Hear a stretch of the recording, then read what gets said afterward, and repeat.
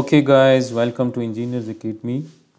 Kindly subscribe my channel if you are here for the first time. Now we are going to solve this problem which says determine the moment of inertia for the shaded area about the x-axis. So again we are given this shaded area and we are required to find the moment of inertia about the x-axis. So mm, in this chapter we have discussed that there are two methods to find the moment of inertia. One if the differential strip is parallel to the x-axis about which we want to find the moment of inertia and the other case is when the differential area or the differential strip is perpendicular to the x-axis. So if the differential strip is parallel to the x-axis we, we can always use this formula that is I of x or we can say that di of x is equal to uh, y square times dA and for this formula the area need to be parallel to the x-axis is right about which we want to find the moment of inertia. So now let's say that this is the uh, differential strip which is parallel to the x-axis.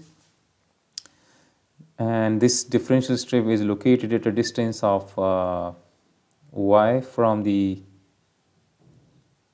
x-axis. This is y. Each and every part of this uh, dA is at a distance of y and similarly the height of this differential strip this is dy this is small change in y.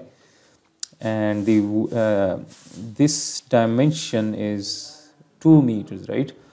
So this edge of this area is defined by this function y square equals to 1 minus 0 0.5x so the coordinates of the ends of this dA the coordinates of the of this end of this dA is uh, it is at a distance of x and at height y. So these are the coordinates of the end of this dA. So if if this is if this is x from here to here this is x. So this means that the width of this dA is x and the height is dy. So we can write that dA let me write that dA is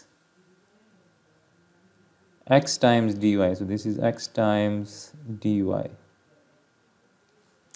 So now uh, I can put uh, this dA in this equation. So this is the this di of x is the moment of inertia of this differential strip about the x-axis. Now we want to find the moment of inertia for this whole area. So we have to integrate both sides of this equation. We have to sum uh, the moment of inertia of all the differential strips from uh, y equals to 0 until y equals to 1 meter. So we have to integrate this from 0 to 1 and this d will cancel out so we will be left with i of x. So this is i of x and this is y square and dA is this x times dy. So this is x times dy and the integration is from 0 to 1.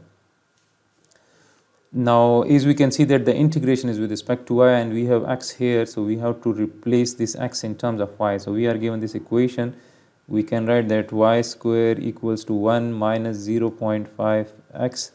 And if I bring this term to the other side so that will be 0.5 x. And plus y square equals to 1 or we can say that 1 minus y square is equal to 0.5 x.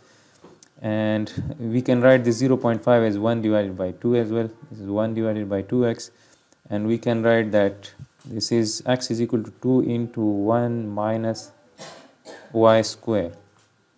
So now we can put this x equals to this uh, in this equation. So this is y square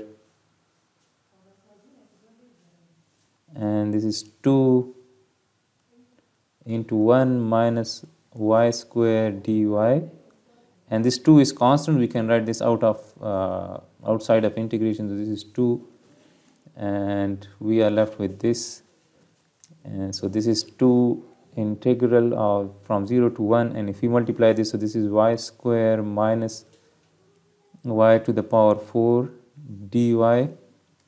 Now we can integrate this. This is 2 and this is uh, y to the power 3 divided by 3 minus y to the power 5 divided by 5 and the limits are from 0 to 1 so this is 2 and now if I put these limits so this is 1 divided by 3 minus 1 divided by 5 so this is 2 and if we put 0 so everything will become 0 so that will be minus 2 into 0 so this is 2 into 1 divided by 3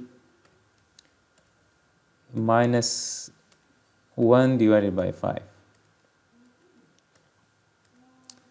So this gives us 0 0.267. 0 0.267. This is the moment of inertia about the x-axis and the units are meter to the power 4.